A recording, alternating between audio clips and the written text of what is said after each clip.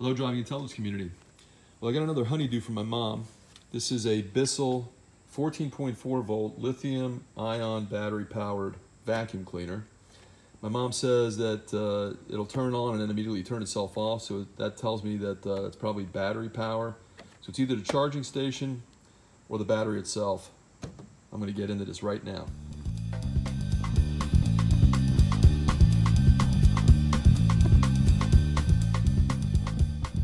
Well, I violated one of the main tenets of fixing somebody's problem, and that is to verify the condition. Now, I did kind of verify because I saw my mom turn this thing on when it was attached to the extension. It did turn itself off immediately, but I disconnected this. This is the handheld portion of it. It is, does have the battery included.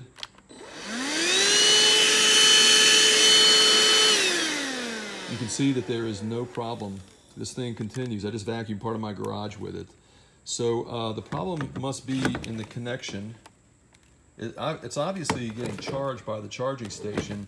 There must be some connection issue between the switch on the handheld portion and the handheld unit. So that's what I'm gonna check out. Well, I just tested it connected and it's a mechanic's worst fear. You can't duplicate your customer's failure. It's working perfectly now, so I don't know what the problem was.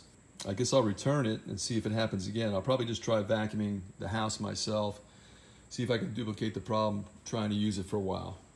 Let's try it out.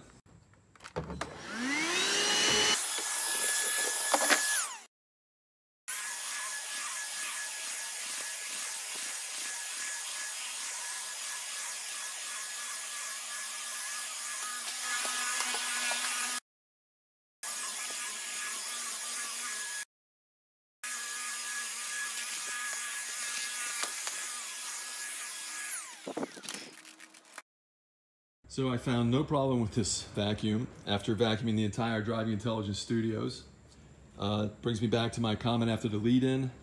Make sure that you confirm the problem that your uh, customer has. I didn't confirm it and uh, wasted a lot of time. Well, not a lot, let's say 20 minutes. But uh, the best first step is to confirm the issue, whether it's your own or somebody that you know or your customer complaining about a problem. This Bissell works perfectly. Thanks for watching. Give me that thumbs up if you learned something like I did. See you next time on Driving Intelligence.